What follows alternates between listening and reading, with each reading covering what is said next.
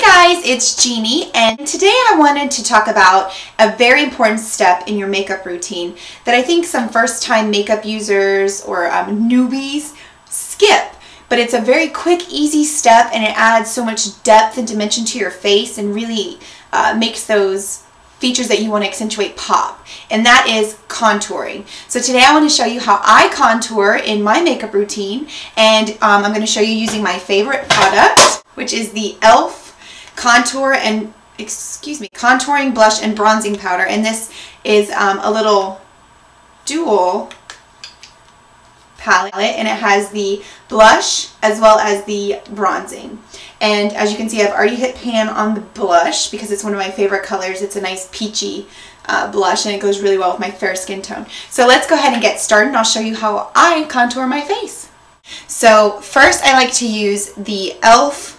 Professionals bronzing brush and it's just a slanted brush and it's really great for getting into the hollows of the cheek, along the jawline, and down the sides of the nose. All main parts of the face that I like to contour, as well as the forehead. Just because I have a rather large forehead, I think Tyra Banks calls it a five head.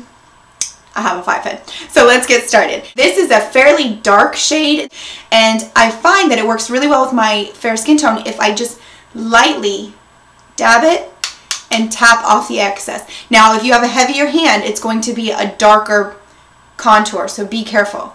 So I'm just going to kind of suck in my cheeks and then just follow the hollows of my cheeks. That way it's going to make this cheekbone really pop. It's going to create a shadow through here. So it's going to really brighten up that cheekbone.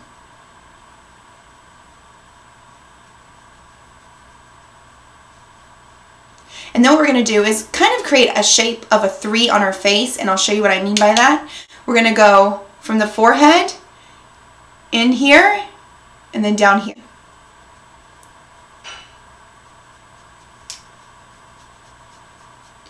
And what that's doing is it's really giving that jawline a shadow underneath and really making that jawline pop because that's what you want. You want to have a nice prominent jawline and cheekbone. Really gives that face some depth and some contour. So I'm just going to keep doing that.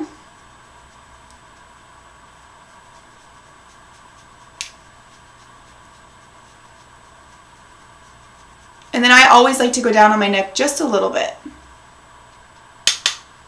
Now contouring I really love because on days when I feel a little bit bloated, and let's face it, as women, we all have those days, it kind of makes me feel like my face is really um, a little bit thinner, a little bit more chiseled, if you will. All right, now we're just gonna do the other side.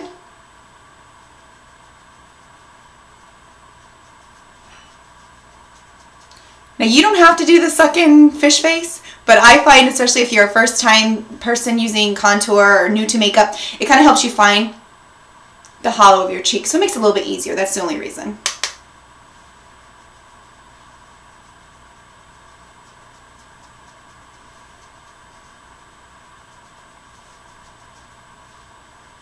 Now, also to hide a double chin. Now we can't get rid of it completely, but we can hide it by contouring along the chin and jawline.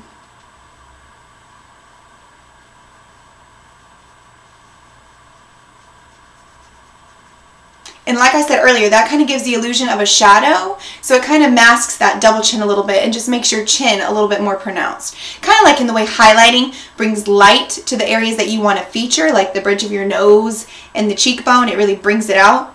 Contouring does kind of the same thing, but in the opposite way. It creates a shadow right around that thing that you really want to show. So we're putting it in the hollows of our cheeks to really showcase our cheekbone. We're putting it along the jawline and under the chin to really showcase our chin, not what's underneath it. Now we're going to take it and we're going to run it along just the sides of our nose to just kind of give shape to the nose. So I'm just going to make sure everything's nice and blended.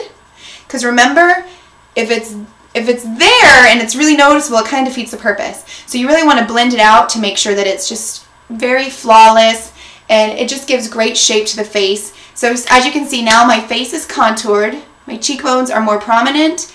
Um, I've kind of shaded in that five head and I've taken care of that double chin as well. Uh, that does it, so that's how I contour my face on a daily basis. Very quick and easy step to your makeup routine, but makes a really big impact on the face. Okay guys, I'll see you next time. Bye!